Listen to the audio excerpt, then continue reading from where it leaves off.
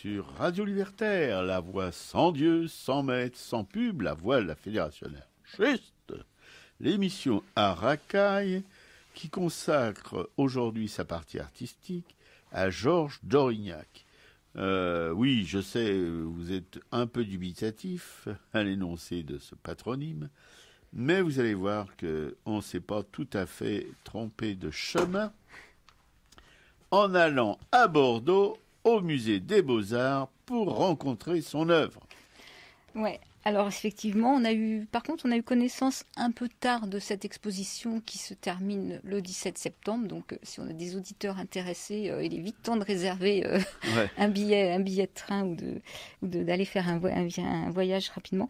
Alors, pour présenter son travail, moi, je ferai un petit peu sa biographie après. On parlera de son travail. Là, j'ai emprunté un livre à la bibliothèque qui est Georges d'Aurignac, le maître des figures noires. Et euh, à la fin de, de, cet ouvrage, en fait, il y a quelques aperçus de critiques qui, euh, qui, sont, euh, qui ont été produites entre 1903 et les années, les années 2000. Donc moi, j'ai choisi un extrait d'un article de Jean-Gabriel Lemoine. C'est écrit en 1920. C'est paru dans la revue L'Art et les artistes d'octobre 1920. Et ça raconte un petit peu la biographie et quelques impressions sur le travail de Dorignac. Dorignac a horreur de l'art facile. On devrait, dit-il volontiers, travailler toute sa vie pour arriver à faire une toile. À vingt ans, on peut faire une toile en deux heures. À quarante, on met deux mois. C'est en effet deux mois qu'il a mis à exécuter le grand nu de femme qui figure au salon d'automne cette année. Ce temps passé sur chacune de ses œuvres, mise au point jusqu'à l'expression totale, est à la fois le secret de la faiblesse et de la force de Dorignac. Faiblesse, car il produit peu, ce qui fait le désespoir des marchands qui seraient prêts à lui offrir des contrats avantageux s'il consentait à produire entre guillemets en Syrie comme cela se pratique couramment aujourd'hui. Or, Dorignac professe un mépris profond pour les artistes qui s'astreignent à cette servitude. Il y a tout de même une probité dans l'art, il faut produire des choses bien. Et l'artiste qui montre des œuvres inachevées pour satisfaire aux commandes et à la mode est l'objet de tout son dégoût. C'est du sabotage, déclare-t-il. Mais si c'est sa faiblesse, c'est aussi la force de son talent. Dorignac professe que l'art bien fait est éternel. Il cherche, dans la mesure du possible, un art qui bannit toute idée de mode passagère.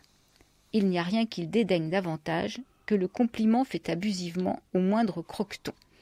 Chez toutes les personnes qui touchent à la couleur, il y a des qualités, mais la vraie qualité, c'est de les avoir toutes. C'est pourquoi il a une admiration profonde pour l'art de Rembrandt, où dit-il, il y a tout.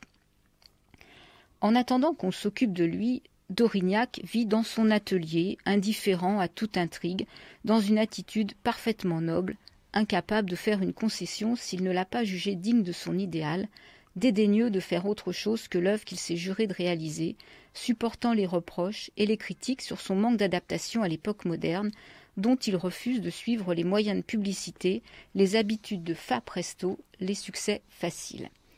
À quelqu'un qui lui disait qu'il avait tort d'être trop consciencieux, nous, répondit-il noblement, nous avons tort quand nous faisons quelque chose de laid, mais nous avons raison si nous faisons quelque chose de beau. Ce quelque chose-là, Dorignac le réalise souvent, mais ce n'est pas, on le voit, sans l'avoir longuement et patiemment attendu et sûrement mérité. Voilà un artiste selon notre cœur, je pense, je parle pour mes camarades et moi-même, sans vergogne, mais quand même, voilà, des artistes comme ça, de cette qualité, de cette probité, euh, c'est extrêmement rare, voyez-vous, euh, tous les grands, euh, enfin, en tout cas, ceux qu'on dit grands dans l'art moderne, n'ont pas tous eu cette probité. Voilà, et ça c'est très important, et on le comprend en regardant son œuvre, parce qu'il s'est laissé aussi aller à des facilités. et là, c'est pas vraiment le meilleur de Dorignac, c'est quand il est euh, le meilleur de lui-même, il le donne quand justement euh, il, euh, il ne recherche pas à faire plaisir, il ne recherche pas le plaisir des, des amateurs, mais qu'il obéit surtout à ses désirs profonds. Ça sera le, ça sera, si vous voulez, toute cette série de, de dessins euh, en noir, euh, en noir, en gris, en, doré qu'il a fait sur papier.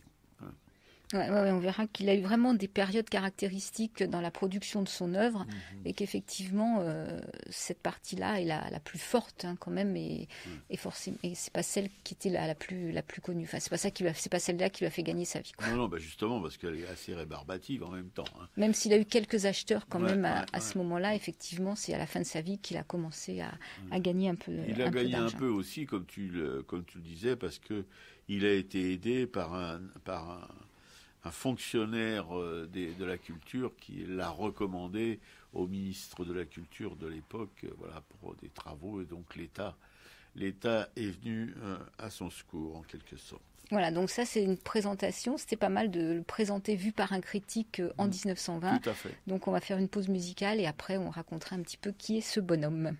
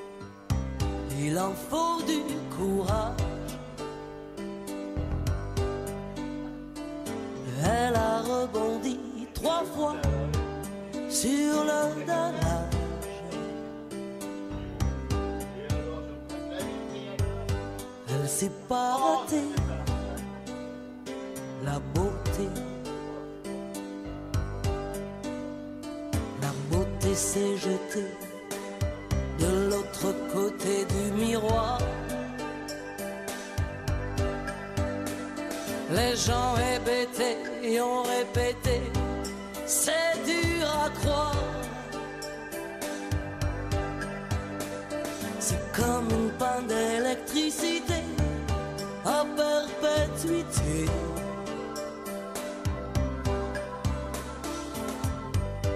Réalité grise, actualité grise.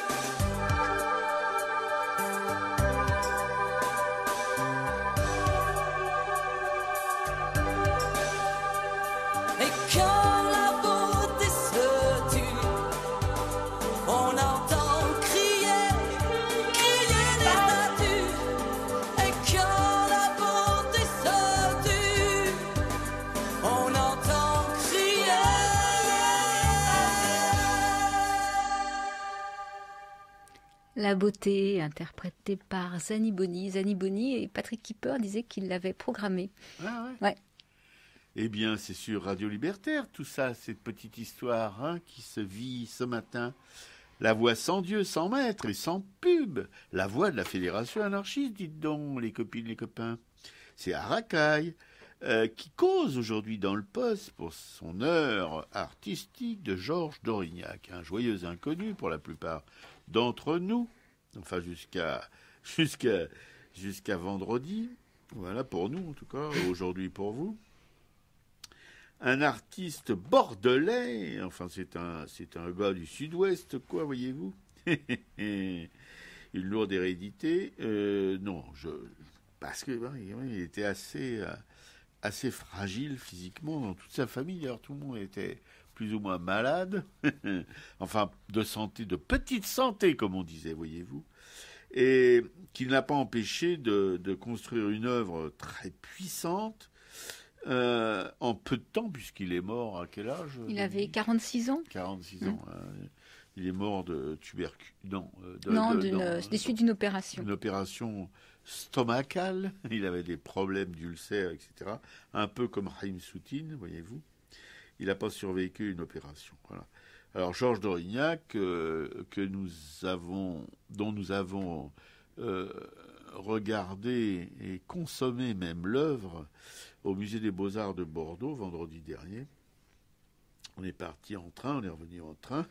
Ah ouais, ça fait 1200 km dans la journée. Ouais, voilà. Euh, on est allé aussi chez la Mama, hein, notre petit resto, notre petite pizzeria bordelaise, euh, qui n'a pas eu toutes les promesses qu'on en espérait, mais enfin bon. C'était un beau moment quand même. Ouais, parce qu'il faut quand même préciser que on était content de voir l'expo, mais je me demande si au départ Robert était pas plus content d'aller à la Mama qu'aller à l'expo. oui, je reconnais.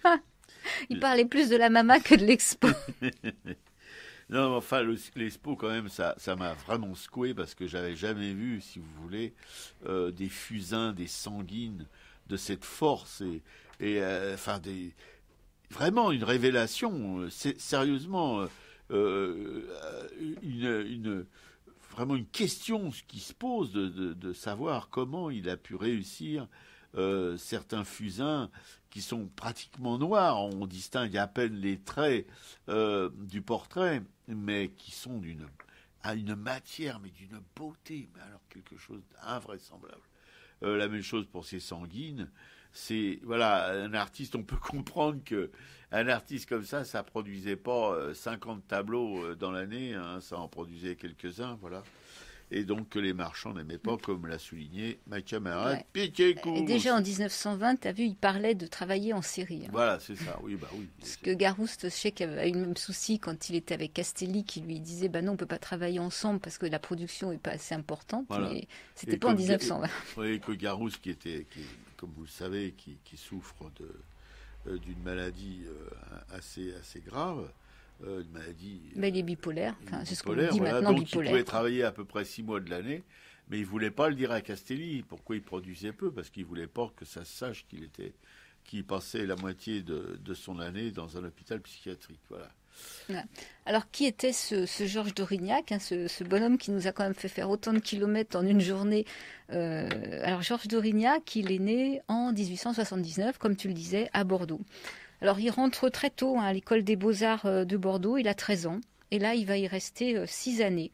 Donc pendant 6 années, il sera régulièrement primé pour la qualité de, son travail. Et après, bah, c'est la capitale quand même qui lui fait, qui lui fait envie. Euh, son père, son père le, soutient. Il accepte de le faire monter à la capitale et accueillir dans la famille l'amour de Dieu. Alors là, c'est, une famille dont le, papa est un collègue de son père qui travaillait au chemin de fer. Alors Georges d'Aurignac bah, se lie d'amitié avec les deux fils de cette famille, dont Raoul, Raoul qui est un sculpteur, euh, qui est un sculpteur connu. Et donc là, il va aussi rencontrer après sa future compagne, Céline. Et d'Aurignac donc intègre l'atelier de Bonnat, mais il n'y reste que quelques mois. En fait, après six ans aux Beaux-Arts de Rennes, il est un peu lassé de l'enseignement académique. Il a envie de d'entamer une carrière de peintre indépendant. Donc Paris, à ce moment-là, est une ville propice à la création. Hein. Dorignac euh, peut aller au Louvre, il va étudier les maîtres, et particulièrement euh, Rembrandt, Rubens et Millet.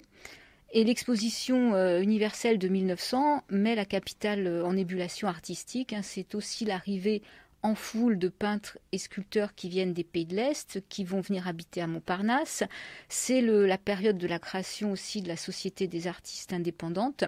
Donc voilà, tout ça, mais euh, Dorignac, euh, il réjouit de, participer à tout ça. Donc il va aussi partir euh, entre-temps pour Bayonne, il doit accomplir son service militaire, mais là il sera réformé pour une cardiopathie. Et il profite de son séjour dans le sud pour fréquenter les artistes espagnols. Et on verra que là, il y a une petite période justement où il a fait une peinture euh, qui signait même Georges euh, d'Aurignac.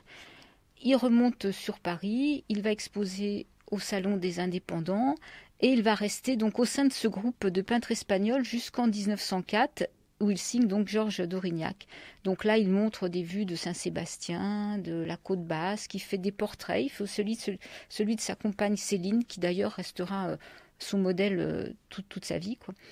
Donc la famille va s'installer à Sèvres, puis après elle déménage à Verneuil-sur-Seine. Ça c'est sur les conseils de Gaston Meunier du Houssy, qui est un ami et qui sera aussi comme mécène du peintre. Alors Verneuil-sur-Seine, c'est un havre de paix en pleine campagne aussi, loin du vacarme parisien. Et là, Dorignac peut faire des allers-retours à Paris pour exposer dans les salons. Et c'est dans, dans, ces années-là, en fait, qu'il va être victime d'une escroquerie il y a un, marchand qui va le, contacter, qui va le spolier de quatre années de travail. Il s'approprie ses toiles, il efface sa signature et il, les remplace par une autre. Donc Dorignac, en fait, ressort de cette escroquerie euh, bah, ruiné, il n'a plus rien, il est démoralisé. Donc il quitte Verneuil-sur-Seine avec, toute, euh, avec sa, femme, mais je crois qu'il a déjà, euh, sa femme avait déjà une petite fille, et il se retrouve habité à la ruche, rue Danzig. Alors là, on est en 1910. Le couple, après, a quatre, filles, eh ben, il, faut nourrir, euh, il faut nourrir toute la famille. Donc la fréquentation de tous ces artistes hein, qui formeront euh, l'école de Paris est quand même euh, stimulante. Et Dorignac va rester à la ruche jusqu'à sa mort. Il va occuper là-bas un, vaste atelier dans lequel il travaille du matin au soir. Sa femme lui apporte à manger apparemment un plat assez frugal, hein, c'est des haricots. alors les filles, euh, les filles de Dorignac posent aussi pour les, pour les peintres qui, sont à la ruche. D'ailleurs, elles épouseront toutes euh, des artistes. Il y en a une qui se mariera avec euh, Haim Epstein, une autre avec André Buterne, qui est le frère de, Jeanne Buterne, la compagne de Modigliani. Les deux autres épouseront des sculpteurs, hein, Louis Didron et Marcel d'Amboise. Alors la solidarité qui règne à la ruche aide Dorignac à se reconstruire. Hein. il est nourri de cette croyance nouvelle hein, dans le pouvoir d'une peinture qui est délivrée de, de conventions. Et là, donc, une fois arrivé à la ruche, il change de style pictural. Il passe donc de, tableaux euh, colorés de, ce qu'il faisait auparavant, donc des pastels, des scènes familiales, d'où des nus qui ressemblent un peu à du, Renoir ou à Degas. Et là, il fait donc ce dont tu parlais, c'est ces figures euh, et ces nus qui sont noirs, euh, et ce sont souvent des, paysans ou des, travailleurs. Ces tableaux sont aussi exposés d'ailleurs dans des salons, notamment chez Durand-Ruel. Et puis c'est la guerre, 1914, c'est la mobilisation générale et c'est une interruption de toute cette effervescence artistique. Beaucoup de peintres qui étaient à la ruche d'ailleurs partiront, euh, partiront même sur, sur le front. Alors Dorignac, lui, ne, ne, fera pas la guerre. Il est renvoyé chez lui pour raison de santé, parce qu'il il avait sa cardiopathie, mais il a aussi des ulcères à l'estomac récurrents. Donc euh, il est démobilisé. Il rentre à Paris. Et maintenant, il va travailler plutôt vers les arts décoratifs. Donc il, il va dessiner et peindre euh, des projets de vitraux, de céramique, de tapisserie et les acquisitions de l'État, justement, grâce au soutien de Armand Daillot, donc c'est la personne dont tu parlais tout à l'heure, qui va appuyer Dorignac, l'ayant rencontré, ayant été quand même euh, ému de voir son travail, de, le voir lui, de voir sa famille, de, va, le voir dans la misère. de le voir dans la misère, va insister pour que l'État lui achète des œuvres.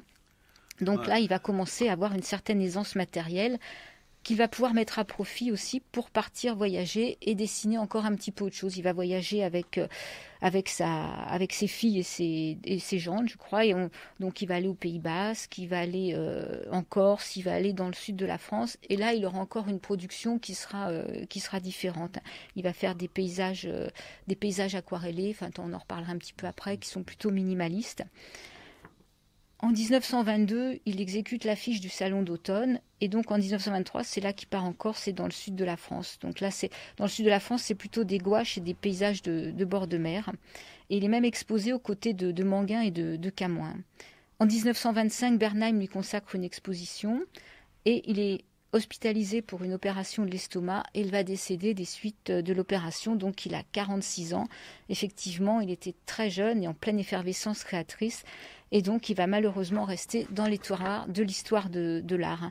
Il y aura une, autre exposition en 1928 et après, bah, plus, plus grand-chose. quoi. Donc c'est un ami, euh, il reste ami avec les, fils L'amour de Dieu. Hein. c'est un ami aussi de Charles Despiaux, hein, qui est sculpteur, qui était praticien chez Rodin. Et euh, Rodin d'ailleurs qui disait qu'il sculptait ses, dessins. Donc voilà, c'est à peu près la, bio, euh, la bio de, Dorignac. Oui. Oui, une, vie quand même de souffrance physique en tout cas, puis une vie aussi de misère, parce que euh, avant de rencontrer ce fonctionnaire de la culture, euh, son, il vendait pas grand-chose, quoi, faut le dire. Hein.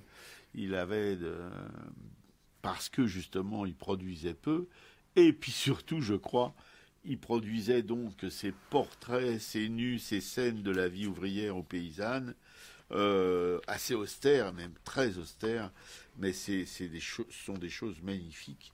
Euh, comme, euh, comme cette femme à la houe, c'est une sanguine qui rappelle aussi un peu Millet, qui rappelle, parce qu'il était un admirateur aussi de Millet, il en a fait plusieurs, il a fait Femme à la fourche, il a fait aussi Femme s'essuyant le front, c'est une paysanne qui, qui a une petite bêche et puis qui s'essuie le front, qui est courbée.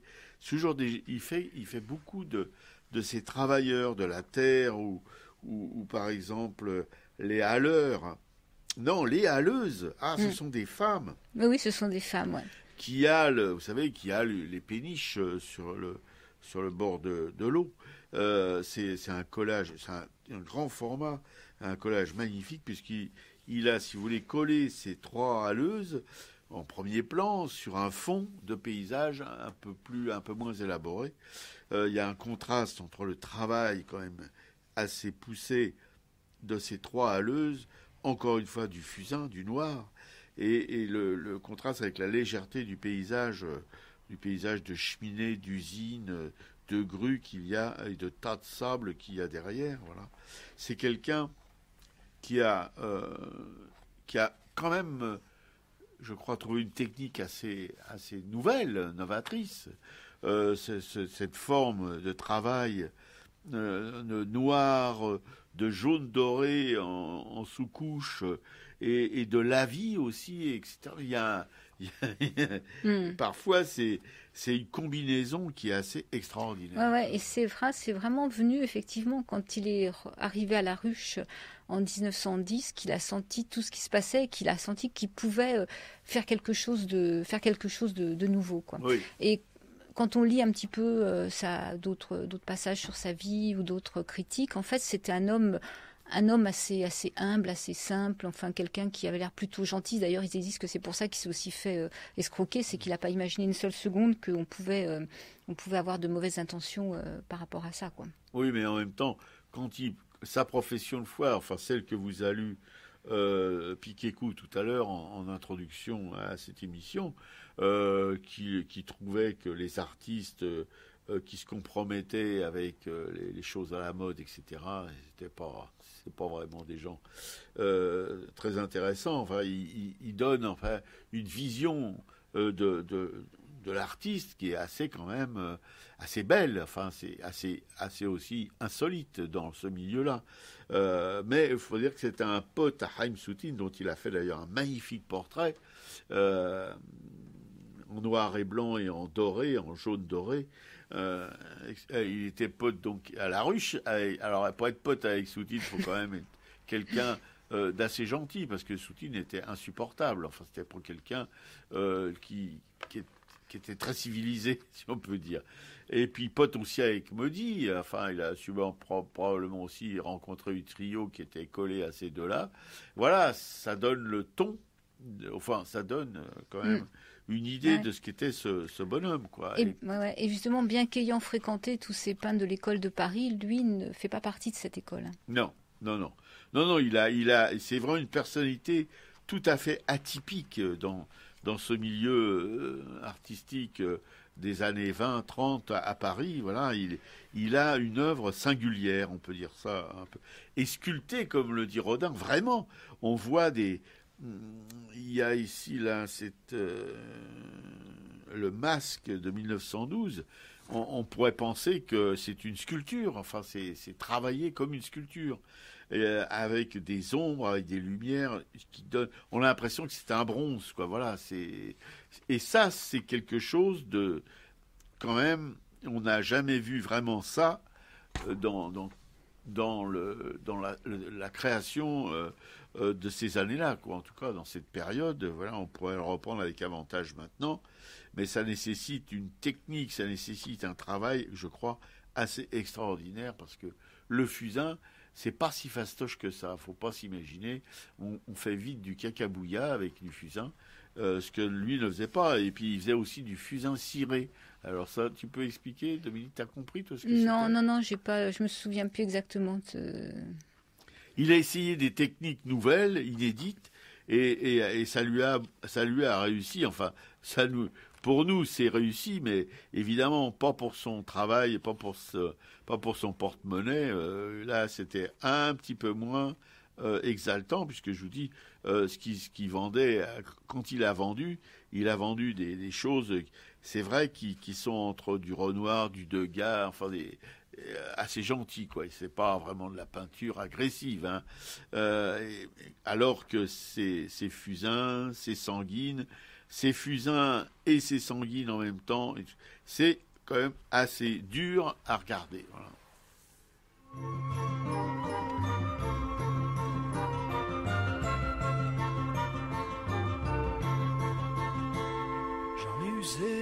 Sentiment, j'en ai usé du boniment, sans que jamais je ne me lance. J'ai respiré tous les parfums, tous les échos, jeunes ou défunts, sur ton pavé, vieux Montparnasse. J'ai promené de l'argent long les rêves d'un vieux vagabond qui traîne sa vieille carcasse. La coupole au vieux clocher, du départ à l'arrivée, sur ton pavé, vieux Montparnasse. Les trains ne partent jamais vers tous les pays où j'avais lorsque le rêve enfin m'embrasse. Mais dans ma tête entourmentée, c'est une ronde endiablée de mille trains vieux Montparnasse. J'ai jamais eu le malheur d'aimer, le bonheur de se quitter. Il y a des choses qui prennent trop de place.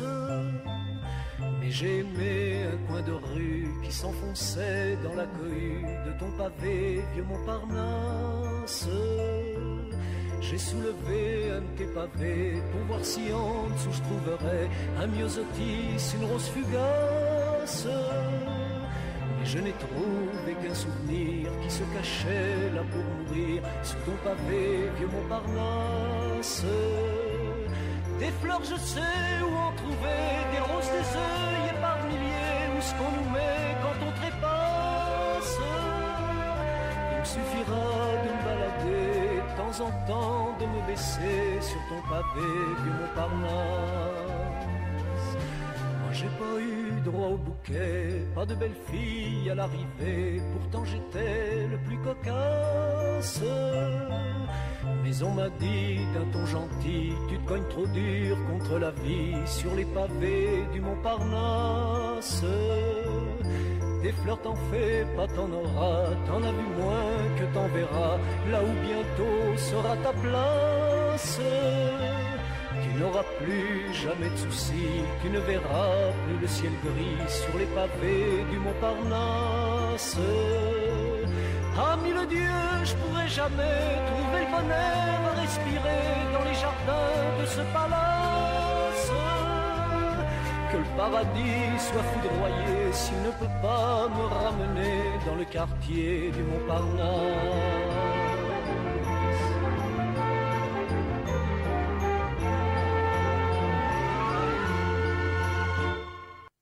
C'était Les pavés du Montparnasse, interprétés par Lénu Escudero. Eh oui, cher Léni Escudero, et vous êtes toujours sur Radio Libertaire, la voix sans Dieu, sans maître et sans pub, la voix de la Fédération anarchiste, l'émission à racaille qui vous cause aujourd'hui de Georges Derignac, qui est un camarade cotif ici, et dont on va poursuivre, euh, euh, si vous voulez, l'histoire. Enfin, essayer de continuer sur notre lancée.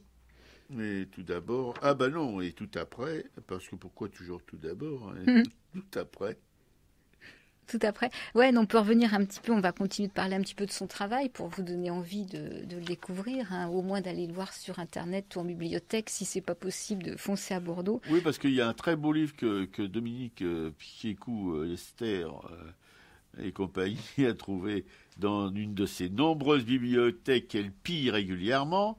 c'est Georges d'Aurignac, Le Maître des Figures Noires par Marie-Claire Mansancal.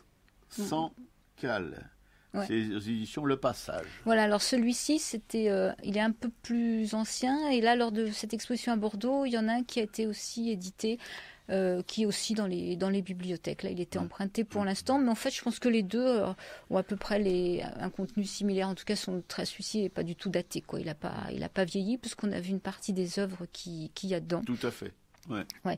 Alors, euh, Dorignac, en fait, son, on peut dire que son travail, c'est comme on peut distinguer à peu près quatre périodes hein, dans, sa carrière. J'ai un peu, il y a une période qui concerne un peu donc toute cette première partie d'expo sur sa sur sa vie euh, sur sa vie familiale hein, quand il peint euh, quand il peint sa famille, qui peint c'est, de l'huile ou du pastel, qui a des c'est, très coloré, c'est des portraits de, femmes, d'enfants, c'est effectivement c'est, très doux. Hein.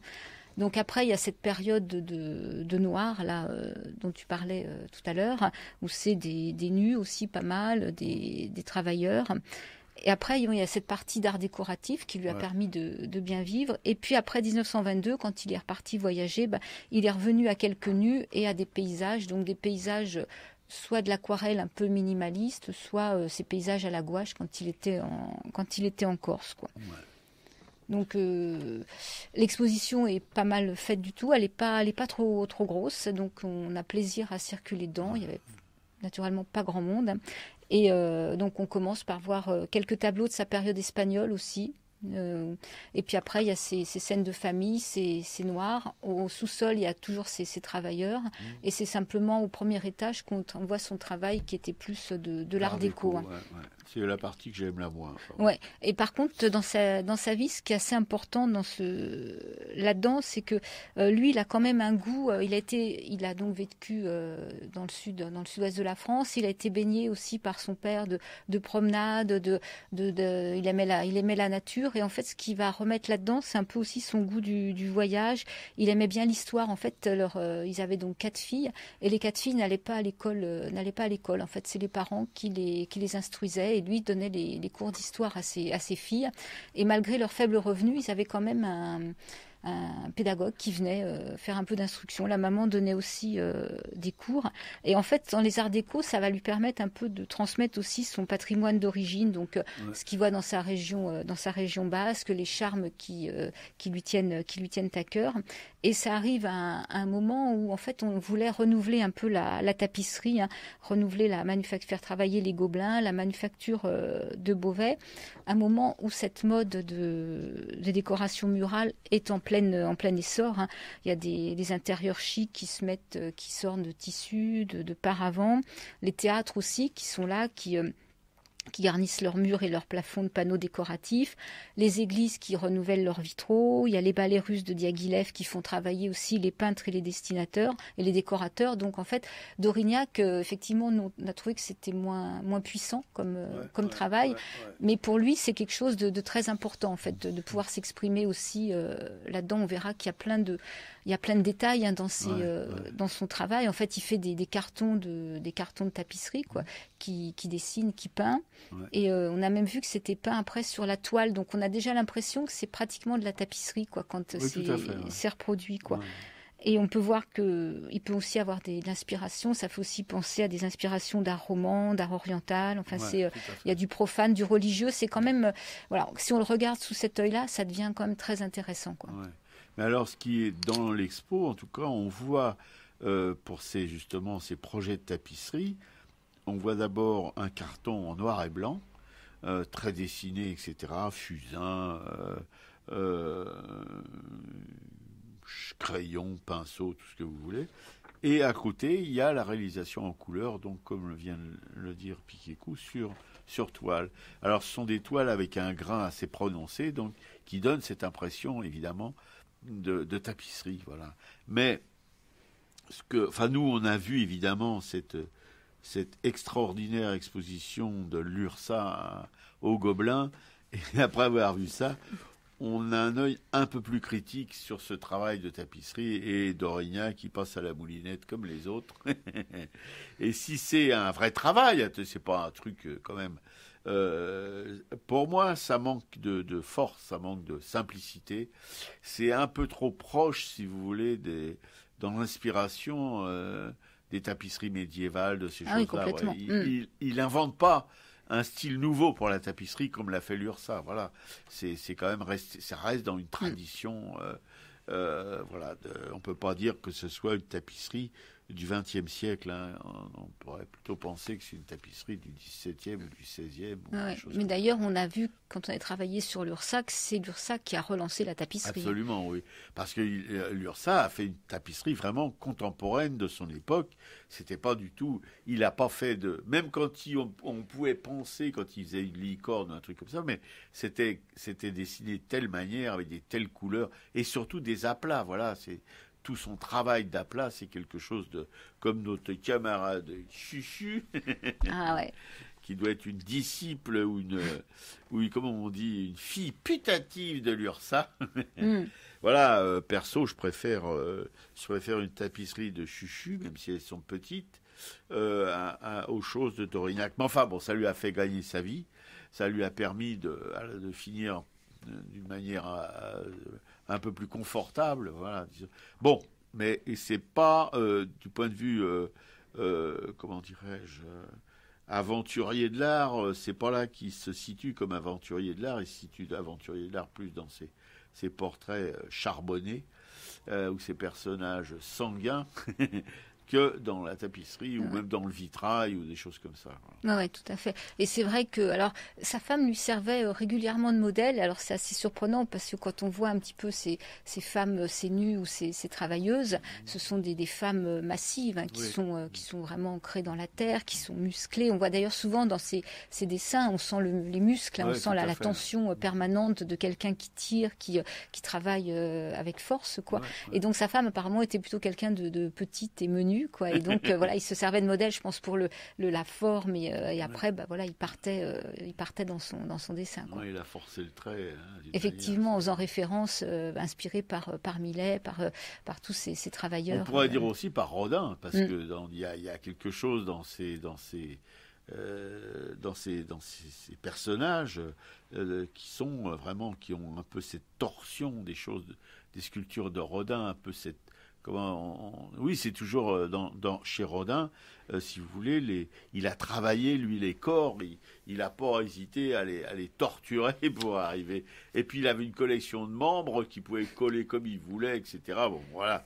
Eh c'est il y a, certaines figures, certains personnages euh, à la sanguine ou au fusain d'Orsignac qui sont assez proches quand même des des, des nus de Rodin. Quoi. Il, y a, il y a ici euh, des femmes accroupies. Il y en a une femme accroupie justement de 1912 qui est au musée de Bordeaux.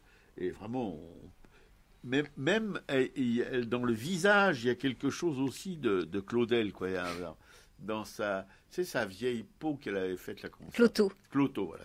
Il y a du Cloto, hein, dans le truc, euh, dans le, les portraits de Rignac. Et- Mais non, c'est. Et alors, évidemment, les arts déco à côté, ça fait un peu freluquet.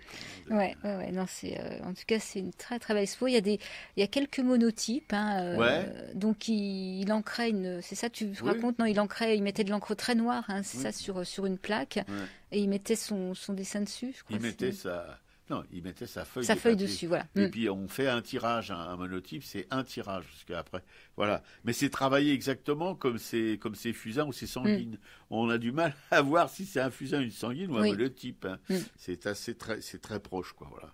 Alors euh, évidemment, bon, si vous si vous allez à Bordeaux, si vous avez cette chance et on vous la souhaite, hein, comme nous, Euh, vous ne levez pas à 4 heures du matin comme nous, mais bon, euh, vous pouvez y aller plus tard. Hein, nous, on est par économie hein, qu'on y allait plus tôt.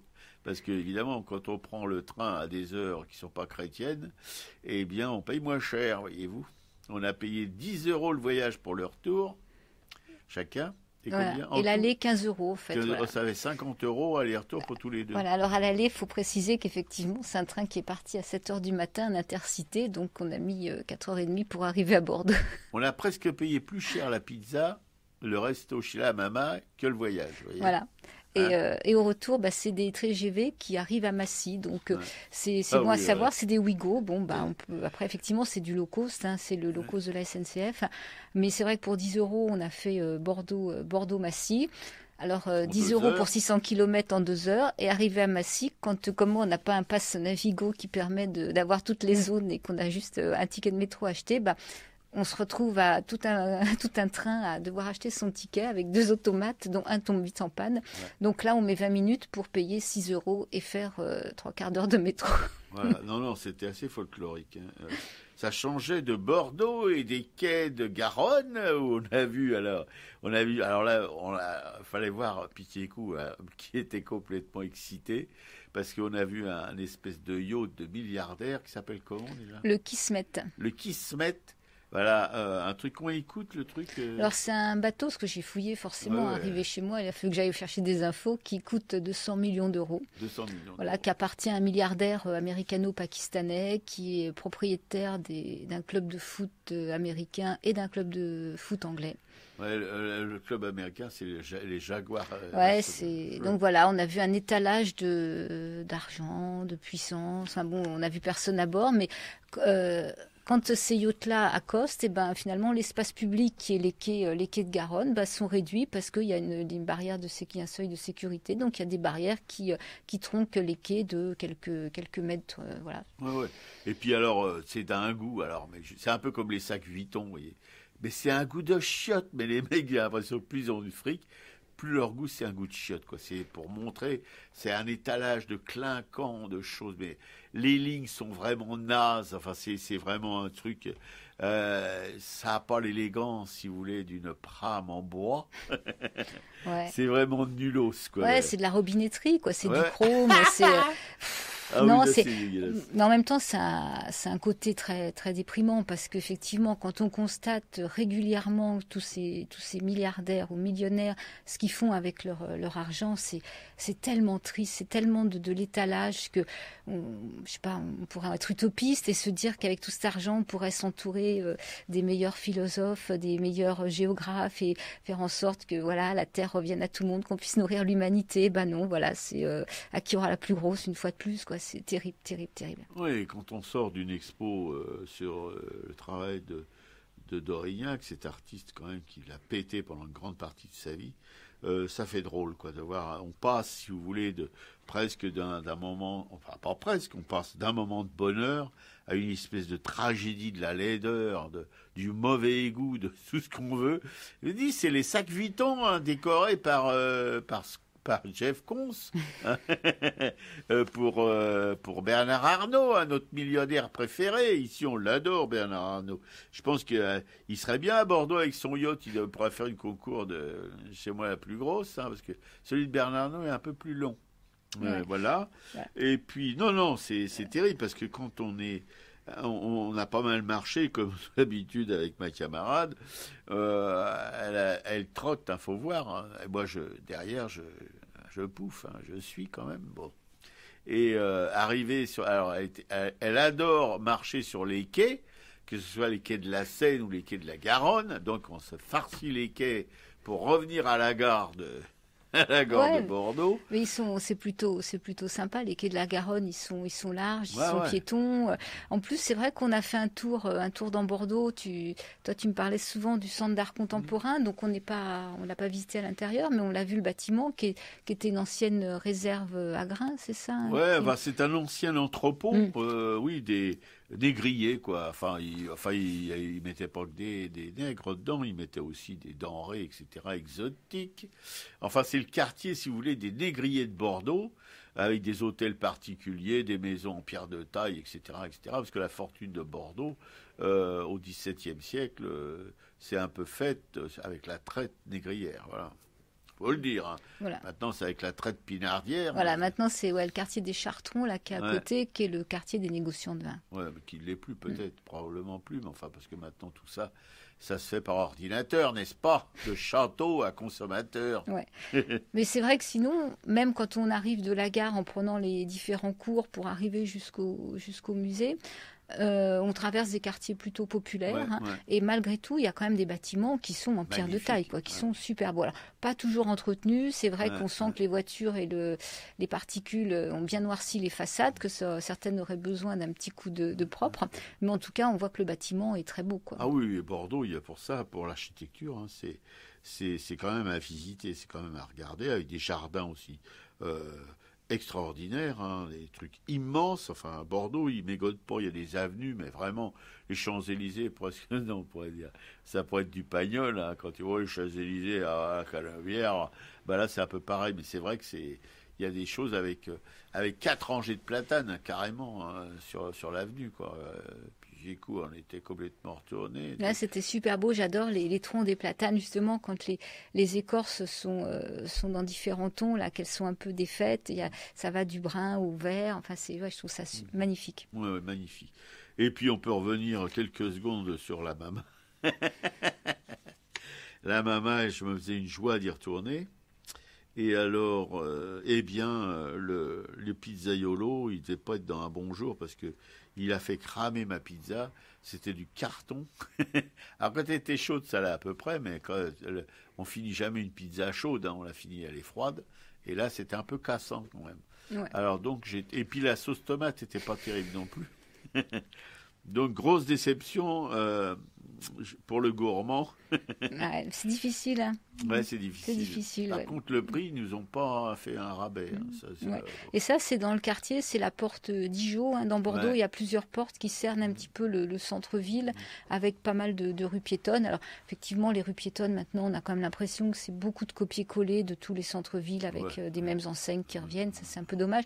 Mais en tout cas, c'est quand même un centre-ville qui est, qui est assez plaisant. Et là, on c'était vendredi, euh, vendredi à l'heure du déjeuner, en début d'après-midi. Il y avait énormément de monde qui Ouais, se promenait. hein. Tout était ouais. c'était- il faisait bon. Enfin, c'est...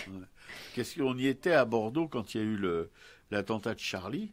Et dans ces rues-là, on voit euh, des attroupements, mais on se pensait que c'était des manifs. Et on a, on a seulement su que non, oui, c'était des manifs, c'était des gens euh, qui se réunissaient spontanément à, à l'annonce de, de cette tragédie. Et nous, on a appris la tragédie, non pas dans- avec ces gens qui, qui, qui manifestaient dans les rues de Bordeaux, mais quand on arrive à la gare. Voilà, on a su euh, à la gare que par un- on était dans un bistrot en face de la gare, plutôt c'est ça, je crois. hein, Mm. on était dans un bistrot en face de la gare, et c'est le garçon de, de café qui nous a dit ce qui s'était passé à Paris ce jour même où on était à Bordeaux. Voilà, alors je vais dire, ça nous a fait euh, quand même un peu flipper, si on peut dire. On est, on en- on ne le croyait pas, on était complètement, mais on voyait avoir la tronche des gens dans la gare de Bordeaux, euh, on s'est rendu compte. Et il y avait plus, évidemment, plus un Charlie euh, dans les kiosques à journaux, tout était parti. Donc voilà, alors c'était quand même euh, un drôle de souvenir parce qu'on avait passé une journée assez. assez Ouais, on était allé voir euh, Bissière, euh, Roger Bissière, ouais, qui ouais. était, euh, c'était une chouette, une chouette expo aussi. On avait pas mal vu son nom. On avait vu une petite galerie justement à côté de la Mama où c'est l'œuvre de son fils Loutre-B euh, qui, qui était exposée. absolument, oui. Et c'est là qu'on a découvert aussi. Ah non, c'est à Lille. hein, Je confonds tout maintenant. Je deviens. Non, par contre, là où on a un peu loupé cette fois-ci, on avait plein de temps en plus devant nous, c'est qu'on n'est pas retourné au, dans le musée, parce qu'en fait, l'expo d'Orignac est dans un, une galerie euh, un petit peu en face du musée des Beaux-Arts, et qu'au musée des Beaux-Arts de Bordeaux, il y a quand même euh, la foulaison, euh, la foulaison de Rosa Bonheur, son dernier tableau qui était inachevé, qui fait, je crois, 6 mètres, 6 mètres de long, et on, a, on aurait dû y retourner, quoi. Ouais, on a dit, mais on y retournera, vous en faites pas, dans un an ou deux, on va retourner à Bordeaux. Parce que j'ai souvenir qu'ils avaient aussi un fonds permanent qui était, qui était intéressant au musée des Beaux-Arts. Ouais. Oui, non, non, Bordeaux. euh, euh, sauf que toujours la même chose, la signalétique pour trouver les musées. Quand on vient de Paris, c'est pas évident du tout. Les Bordelais savent où c'est, mais si vous arrivez de, mais pas de Paris, mais de n'importe où en France pour voir un musée à Bordeaux, eh ben, je vous souhaite du courage. Voilà, ben, on a fait à peu près le tour hein, de, de Dorignac. J'espère qu'on vous a un petit peu donné envie de, de voir qui était ce, ce bonhomme et surtout euh, comment il a travaillé. Quoi. Oui, oui, c'est vraiment une découverte pour nous euh, d'un grand, grand artiste. Enfin, quand on dit grand, grand, qu'est-ce que ça veut dire en même temps Mais d'un artiste, enfin, qui a une production euh, complètement originale dans sa partie, si vous voulez, euh, noire, charbonneuse et sanguine. c'est vraiment une découverte. C'est vraiment complètement inédit, quoi. J'ai rarement vu des choses aussi fortes. Avec des moyens aussi pauvres, parce que le, fusain, c'est jamais qu'un bout de charbon de bois, hein. et, la sanguine, c'est euh, aussi euh, une craie avec euh, des pigments rouges, quoi. Mais bon, hum, c'est-à-dire de la craie, de la colle et puis de- des pigments, voilà. Et avec des moyens aussi pauvres sur une feuille de papier, il arrive à faire, si vous voulez, des, enfin même si vous voulez pas, après tout, hein, il arrive à faire des, des- des chefs-d'œuvre, quoi, vraiment, qui, qui vous en vous en prenez plein la tronche. Voilà, donc à, suivre. Oui. Si jamais il y a d'autres expositions, il y en avait une à la piscine de Roubaix euh, juste avant. Ouais. Donc euh, il y aura probablement d'autres expos maintenant qu'il est un petit peu remis euh, au goût du jour. Ouais, L'endroit, le- la galerie des Beaux-Arts où on était à Bordeaux, en fait, je crois, va n'expose rien. Je crois qu'ils vont faire des travaux. Ouais. Donc là, pour l'instant, il se passera rien de particulier. quoi. On a le temps de récupérer.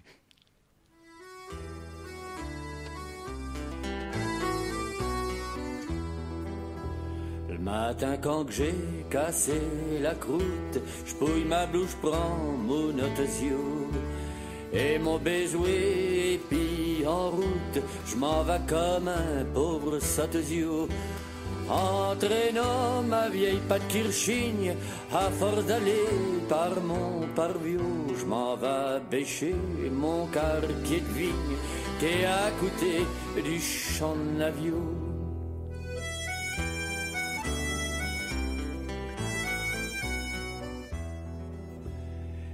Là-bas, tandis que je m'esquinte à racler l'herbe autour des sas, que je sue, que je souffre, que j'aime, que je quinte pour gagner le bout de pain que je n'ai pas.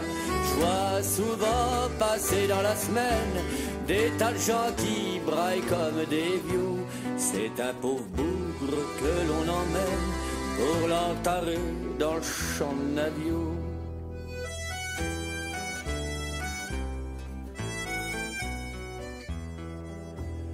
J'en ai-tu vu depuis le temps que je pioche, j'en ai-tu vu ces enterrements. J'ai vu passer sti du petit mioche et du pauvre de 80 ans. J'ai vu passer sti de la pauvre fille et des pogs au bourgeoisio. Et sti des ceux, toute ma famille qui dort master dans le champ de navio.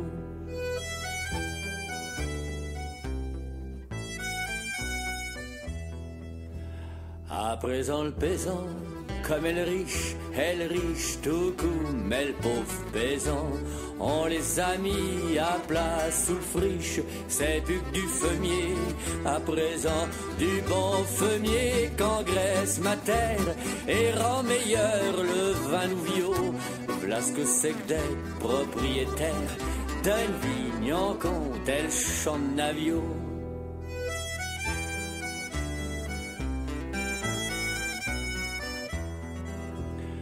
Après tout, faut pas tant que je blague, ça m'arrivera et tout, tout ça. La vie c'est un arbre qu'on élague, et chez la branche que la mort coupera. Je passerai un biosphère calme et digne, tandis que chanteront les petits moignons. Et quand on me trouvera dans ma vie, on m'emportera dans le champ de navio. Je passerai un et digne, tandis que chanteront les petits moignons. Et quand on me trouvera dans ma vigne, on m'emportera dans le champ de navio.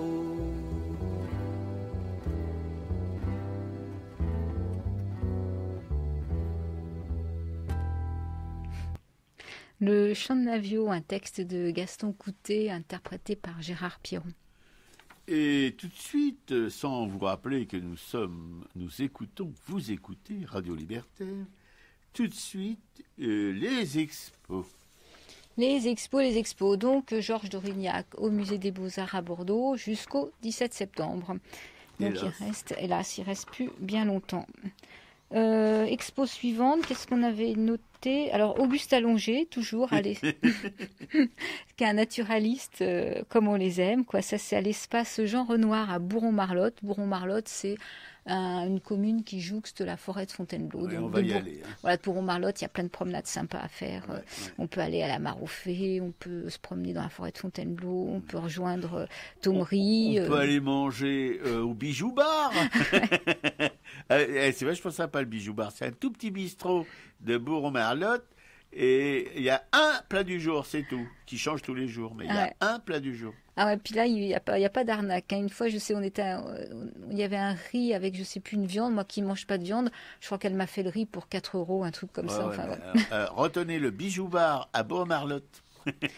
Voilà, donc ça, c'est une exposition qui a démarré le 10 septembre et qui dure jusqu'au 10, au 10 octobre. Donc c'est tous les jours de 14h à 18h. Il y a le musée de poche de Géraldine Alibeux. Ça, c'est ce week-end du 13 au 16 septembre. C'est dans le 11e arrondissement à Paris, 41 rue de la Fontaine-au-Roi, de 14h à 20h. Ça s'appelle D'une pierre, trois coups. Donc ce sont trois illustratrices euh, jeunesse hein, qui, euh, qui exposent. Euh, Il y a T-News, donc, dont on parlait tout à l'heure, hein, au Ah. carré des Coignards à Nogent-sur-Marne. C'est jusqu'au 24 septembre. Robert, tu veux en parler un petit peu plus longuement? Oui, enfin, En bon, rajouter? je, peux, je peux vous dire que c'est une arnaque, pas l'expo, hein, mais c'est c'est une arnaque qui est montée sur le dos euh, de la tragédie de Charlie Hebdo, parce que cette municipalité, cette petite municipalité facho, n'aurait jamais exposé T-News, de son vivant. ni, ni personne de Charlie Hebdo, s'il n'y avait pas eu cette tragédie, c'est se faire de la pub euh, à bon compte, euh, voilà, sur le dos. Et je ne comprends pas d'ailleurs que la compagne de euh, se soit laissée aller à, à- à ce que son mari expose dans cette salle euh, des cas des Coignards. Ouais, mais je te dis, on est toujours confronté aux limites, euh, aux limites qu'on a d'une conscience. Par exemple, ce que j'ai vu en arrivant à l'expo, c'est que qui a participé au montage aussi de cette exposition, c'est Virginie Vernet. Ouais. Virginie Vernet, si on se rappelle qui c'est, c'est la petite Virginie dont parlait Cavana dans Ouais, Lune ouais, de miel. et euh, une nana qui a l'air adorable. Enfin, c'était vraiment euh, qui travaille, je crois, euh, dans la dans la BD chez Dargo. Pourquoi pourquoi ne pas avoir de regard critique? En même temps, quand on voit l'expo T-News, il y a une salle qui est réservée au dessin de T-News pour le WWF. Moi, ça m'a autant surprise parce que si on regarde un peu qui était le WWF, ça n'a rien d'une ONG euh, humanitaire. Il y avait une émission de Mermet qui avait très bien critiqué cette cette association. Donc euh, voilà, c'est personne personne n'est vraiment parfait quoi. Il y a Non, toujours euh, des, des failles dans, dans nos connaissances, dans notre regard Ouais. extérieur quoi. Si, si, il y a, On a un esprit. il y a Dorignac, c'est parfait, je regrette, mais on a des exemples de, de perfection. Ouais, mais c'est difficile. J'ai quand même l'impression que ça reste euh, difficile. Ouais, moi, moi, j'étais outré, je, je suis, euh, j'aurais du mal à m'en remettre de, de, de cette expo. Bah, c'est euh, évidemment, T-News, ça on aime, mais euh, je veux dire pas là, quoi, voilà. Voilà, parce que sinon on a comme bien, il y a quand même des certains certains dessins qui sont qui sont vraiment drôles Ouais, quoi. ouais, ouais, Moi qui ai du mal à rigoler spontanément, euh, là c'est vrai que ça ça fuse quand même quoi. Alors il y a une exposition Jean Truffémus à Grenoble. Alors pourquoi je parle de Jean Truffémus. Truffémus? C'est un c'est un artiste peintre qui est euh, qui travaillait à, à Lyon, qui est lyonnais et qui euh, qui est qui est mort dans la semaine là. euh, il avait je crois combien 95 ans. Ouais, Hein. chose. Donc il a une peinture euh, qu'on avait rencontrée, c'est pour ça que quand j'ai vu ça, je dis tiens, ça me dit quelque chose, c'est qu'on avait rencontré à la galerie Claude Bernard, car Claude Ouais, Bernard ouais. en a pas mal, donc il y a régulièrement des expos Truffémus. Bon, toi tu trouves que c'est une peinture trop douce, moi je trouve que c'est vrai que c'est quand même très agréable, c'est des il y a des paysages, il y a des, des portraits, enfin voilà, non, c'est c'est pas désagréable, mais c'est c'est le genre de peinture qui ne bouleverse pas le cours de l'histoire Voilà, de donc, l'art. Voilà, là, il y avait il y a une exposition qui est à, qui est à Grenoble. Euh, au Petit Palais va commencer une exposition sur un peintre suédois qui s'appelle Anders Zorn, donc un, disent un maître de la peinture suédoise. C'est Un genre de naturaliste. voilà un genre de naturaliste un peu euh, très doué. C'est-à-dire qu'effectivement, c'est une peinture euh, hyper léchée, hein, qui, moi, qui m'a fait penser un peu à la peinture de, de Sorolla quand je l'ai vue. Et il n'a pas été exposé, je crois, en France depuis 1906. Oh, bah tant mieux pour la France. donc euh, non, c'est peut-être à voir quand même. Enfin, c'est, ça a commencé, donc ça commence le 15 septembre et ça se terminera le 17, le 17 décembre. Bon, enfin, perso, hein, je veux dire, j'irai pas. Hein. On doit continuer? Le culturel de la semaine. Ah bah oui alors. Eh ben, Petit paysan de Hubert Charvel. Oh là là là. Ouais, on a vu... Alors là, Ah, c'est terrible. C'est un film euh, sur un, éleveur, euh, une personne qui a 35 ans à peu près, qui a un élevage pas immense de, vaches. de, vaches. Voilà, une trentaine de vaches et il y a une maladie, ça c'est une, fièvre hémorragique, je crois, qui commence à se répandre un peu et il est très angoissé, il observe le comportement de son, troupeau et effectivement une première vache va être malade et c'est comment il va gérer ça, euh, mm. euh, comment faire en sorte de, pouvoir conserver son, troupeau alors qu'elle est comme service vétérinaire dont même sa sœur est vétérinaire, hein, qui, qui en général c'est l'abattage du troupeau quand il y a une bête, une bête malade. Donc voilà, il y a tout, euh, tout l'attachement de ce jeune paysan à son, à, son, à son troupeau, il y a même la naissance d'un veau qui va essayer de préserver en, le, faisant dormir sur son canapé. Enfin, c'est un film qui a très très peu de moyens et en même temps qui, euh, arrive à nous toucher, mais on, est, on en ressort, on est, on est encore dans, ce film. On a, je ne sais pas comment ça arrive, c'est aussi bien fait d'avoir autant d'émotions avec euh, justement, on le voit dans sa ferme, on le voit lui, euh, comment, comment il se dépatouille de ça. Donc on ne va pas raconter parce qu'il faut, faut aller le voir au cinéma, mais c'est vraiment un film exceptionnel, je trouve. Oui, on voit aussi, le, si vous voulez, l'isolement du, petit paysan dans, dans ce monde de culture intensive, d'élevage intensif, etc. Et, la froideur des fonctionnaires euh, de la, de la, je sais pas comment on les appelle, c'est de la santé ou je sais pas quoi, des fonctionnaires en tout cas qui sont en charge de l'élimination des troupeaux euh, contaminés. C'est vraiment euh, bon. il est un peu seul, Pépé, hein, mais même avec sa sœur, qui pourtant euh, essaye d'être euh, d'arranger les choses, quoi. Voilà. Il y a des règles et euh, si une vache est contaminée, il faut abattre tout le troupeau. Et lui, il y a un cri. Il pousse un cri. Je ne sais faire que ça. Il a toujours vécu avec des vaches. C'est son, c'est son boulot. Sans son troupeau, qu'est-ce qu'il va faire? C'est aussi cette question-là, voilà, parce que il faut reconstituer après le troupeau s'il veut continuer. Vous voyez, c'est pas et puis après une expérience comme ça, je sais pas si si c'est possible quoi. Si on a parce qu'on a vu aussi dans ce film, lui c'est un tout petit mais un gros paysan dont on a abattu tout le troupeau. Et, au regard des dimensions de son étable, on se doute bien qu'il n'avait pas 30 vaches. Voilà, puis il attend toujours ses indemnités. Oui, voilà, parce que soi-disant qu'il y a des indemnités, mais euh, comme c'est des, voilà, les, les Pébourgs, euh, bon, c'est pas vraiment la préoccupation mm. euh, de, de l'État et donc euh, on, laisse traîner quoi les choses. Voilà. Ouais, Donc cet acteur là est vraiment euh, vraiment percutant, touchant mm. dans ce qu'il arrive à transmettre de l'amour qu'il a pour pour son mm, troupeau. On voit aussi tout l'élevage intensif. Hein. Il a un de ses amis qui, lui, au contraire, passe son temps sur son portable. Il a des courbes qui donnent l'état de santé de tout à tout moment. Enfin, il a, il a tout modernisé. C'est-à-dire qu'il élève euh, par l'intermédiaire de son portable, quoi. C'est assez, c'est assez terrible. Enfin, on voit le mec. Et alors, il y a aussi une phrase, euh, moi, qui m'a, qui m'a choqué, mais sans, j'étais pas non plus très surpris, même si j'étais choqué. C'est que quand cet ami, un ami d'enfance probablement, euh, apprend que euh, son, le troupeau va être abattu, il téléphone tout de suite en disant Écoute, hein, si tu veux euh, vendre tes terres, hein, je suis preneur, hein, t'en fais pas.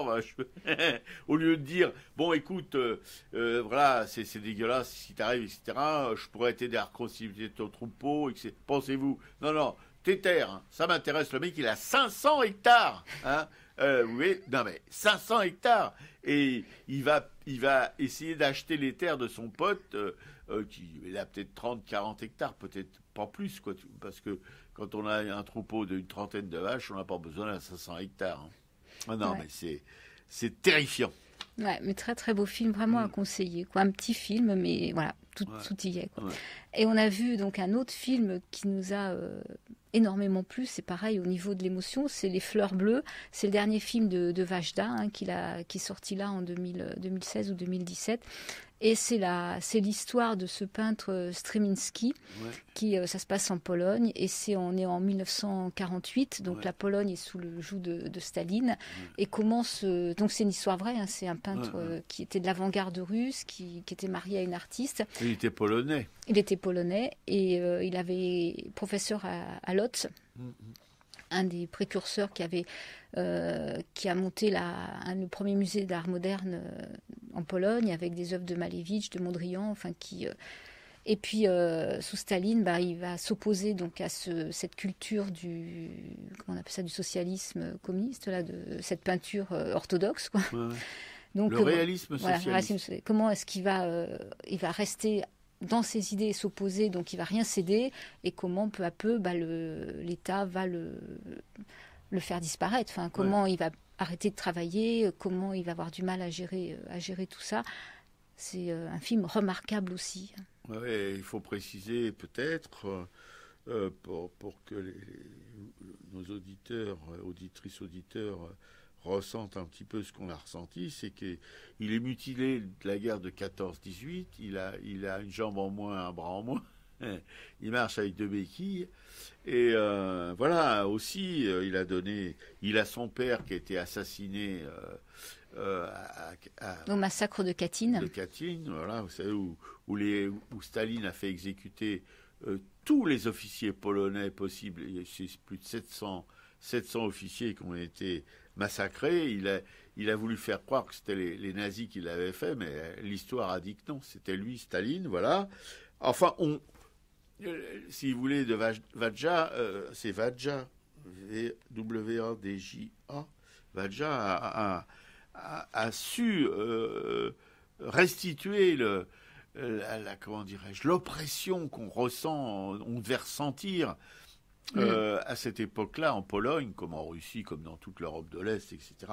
C'est sombre, c'est morne, c'est il faut voir la gueule des fonctionnaires communistes, il faut voir toutes ces choses-là pour se rendre compte à quel et alors on, comme vient de vous l'expliquer Piquet-Coup, peu à peu l'État lui supprime euh, d'abord il est viré de l'école des beaux-arts, après on lui supprime euh, mais il est plus artiste, il, n'a plus, de carte, donc il, a plus de carte d'artiste. S'il veut acheter des couleurs, il peut pas, puisque comme il n'a pas de carte d'artiste, le marchand de couleurs peut pas lui vendre des couleurs, on, lui supprime sa pension, on lui supprime ses bons de nourriture, et il meurt, euh, il meurt dans une misère terrible. Bah, il a, il a tuberculeux. Mm. Et voilà. Et puis il y a, y a, une actrice et sa, fille qui est extraordinaire. Vraiment, Vadja a fait un truc là. Il, a, il a trouvé des personnages. D'abord le personnage du peintre. Et quand même, c'est quand même une interprétation superbe, sublime, magnifique. Sa fille, la, petite fille qui a existé, euh, elle, n'est pas du tout. Euh, c'est pas une petite fille jolie, avec des petites bouclettes et tout. Non, c'est presque une petite femme quoi qui supporte tout, parce que sa maman meurt. Après son papa, elle est toujours droite. Euh, dans ces, dans ces choses trouées. Non, non, c'est quelque chose de bouleversant. Ouais, et d'autant plus bouleversant qu'on est allé voir un peu la bio de, ce peintre et que ça reste très fidèle à, à sa vie. Donc c'est lui était aussi, donc il était, euh, il avait des élèves qui lui sont restés fidèles, hein, qui allaient le voir en dehors de ses cours et qui voulaient euh, taper à la machine à écrire justement tous tous ses cours sur les théories de la vision. Enfin, donc il y avait vraiment une volonté de faire en sorte qu'il puisse euh, surmonter, surmonter tout ça. Et après, donc cette petite, cette petite gamine, effectivement on sent son, sa, on sent sa force quand même. Hein. Et euh, on a vu qu'après, bah, elle est devenue euh, psychiatre, médecin, qu'elle est, euh, qu'elle a aussi écrit des bouquins sur l'œuvre de, ses parents, quoi. Ouais, parce que sa maman était sculptrice et pas une mauvaise. Ils sont séparés avec son papa, mais bon, il y a une scène poignante, c'est vers la fin du film, avant qu'il ne meure. il y a un bouquet de fleurs blanches dans son atelier que ses élèves lui amènent de temps en temps, ses élèves filles, elles lui amènent des fleurs, et euh, il trempe ce bouquet de fleurs blanches dans, dans une préparation bleue, et d'où le titre du film, et il va le porter sur la tombe de sa femme, c'est quelque chose de... parce que bon, sa femme avait des yeux bleus magnifiques, et, Et en fait, ils sont séparés, mais on sent qu'il a toujours adoré sa femme, même s'ils étaient séparés. Et en fait, ce, film montre bien, euh, en fait, cette désescalade hein, euh, d'une première scène riante en pleine campagne où les élèves étudient en plein air, euh, dans la joie, la bonne humeur, et à la, cette fin tragique justement. et là, c'est le climat, le climat du film. Ça, c'est l'exploit de Vajja. c'est ça, c'est sa manière de. Il a, parce qu'il a vécu ça en même temps. Il est resté en Pologne il n'a jamais quitté la Pologne, même sous l'ère soviétique, etc. Il s'est toujours battu, il a toujours dit non à tout. Et on se demande comment il a survécu d'ailleurs, parce que quand on voit la manière dont ce, grand peintre a été traité par le régime, on se demande comment Vajja a hmm. réussi à s'en sortir. et en fait, ce qui, est, ce qui anime Vajja, c'est justement en fait comment, euh, comment gérer sa vie individuelle et personnelle et le politique. Et euh, ce film est un parfait exemple de tout ça. Quoi. Et alors, tous les nostalgiques du stalinisme, hein, euh, un bémol, hein, parce que là, vraiment... quand on, nous, ça nous touche peut-être plus parce que c'est le sort d'un grand artiste qui était, qui était le, le thème de ce film.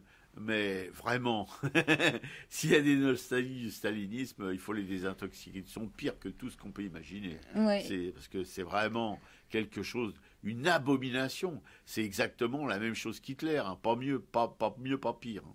Voilà, donc c'est un film, j'ai l'impression, qui n'est pas resté très longtemps sur les écrans. Je ne sais pas si on peut encore le voir, peut-être dans des petites salles. Il n'est pas encore sorti en DVD, mais enfin, si jamais vous avez l'occasion, il euh, faut y foncer euh, tout de suite. Tout à fait.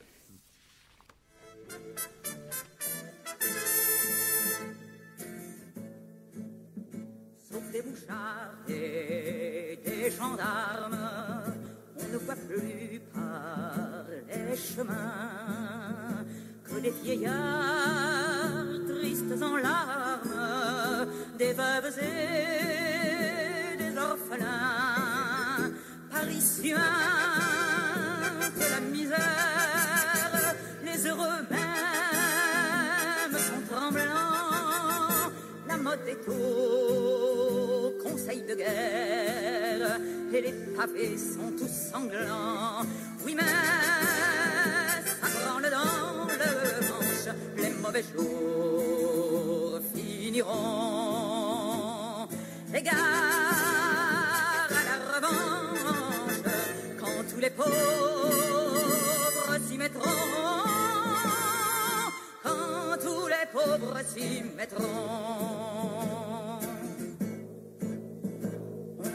On enchaîne, on fusille tout ce qu'on ramasse au hasard. La mère à côté de sa fille, l'enfant dans les bras du vieillard. Les châtiments du drapeau rouge sont remplacés par la terreur tous les chenapans de bouge, valets de roi et d'empereur. Oui, mais ça branle dans le manche, les mauvais jours finiront. Égard à la revanche, quand tous les pauvres s'y mettront quand tous les pauvres s'y mettront. Demain, les gens de la police refleuriront sur le trottoir, fiers de leurs états de service et le pistolet en sautoir, sans pain, sans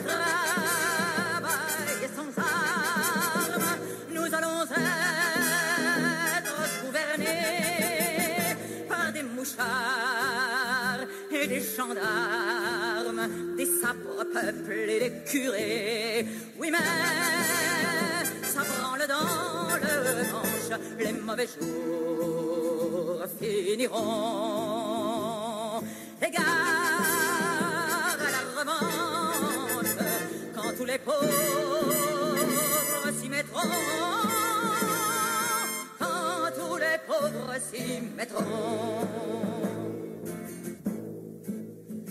Le peuple au collier de misère sera-t-il donc toujours rivé Jusqu'à quand les champs de guerre tiendront-ils le haut du pavé Jusqu'à quand la sainte clique nous croira-t-elle un vil bétail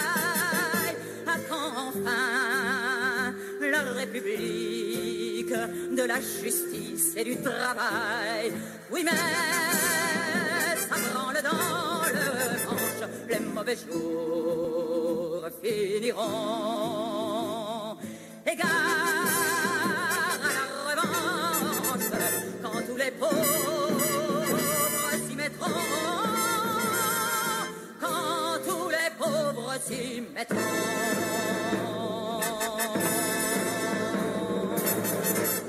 La semaine sanglante